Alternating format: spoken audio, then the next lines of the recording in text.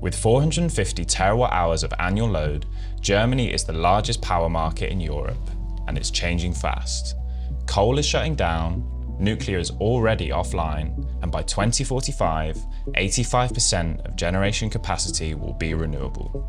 That shift is driving a huge demand for storage to move energy to when it's needed most.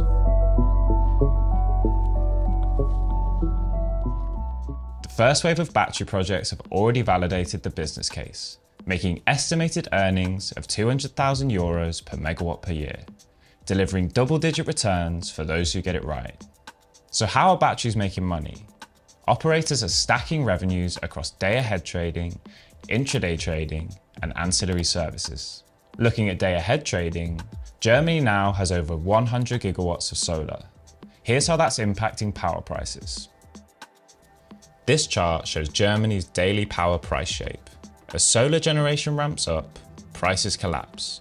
Germany saw 457 hours of negative pricing in 2024, more than any other major European country.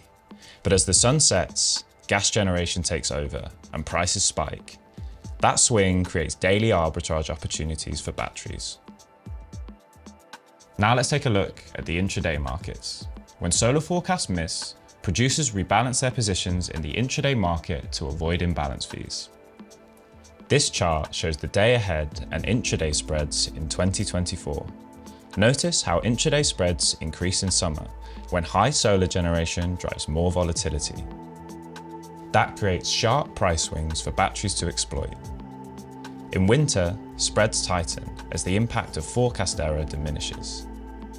Ancillary services still make up over 50% of the revenue stack, but signs of saturation are beginning to emerge, especially in FCR.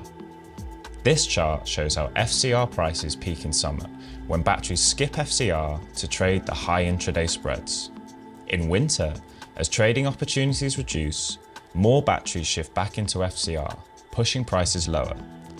These two charts show how batteries switch between merchant and ancillary strategies depending on opportunity cost. But if the fundamentals are so strong, why have only 2 gigawatts of grid-scale batteries been deployed so far? Well, to find out what political and technical factors are keeping investors cautious, as well as exactly how batteries optimize revenue, you can read the full article now on the Modo Energy Terminal.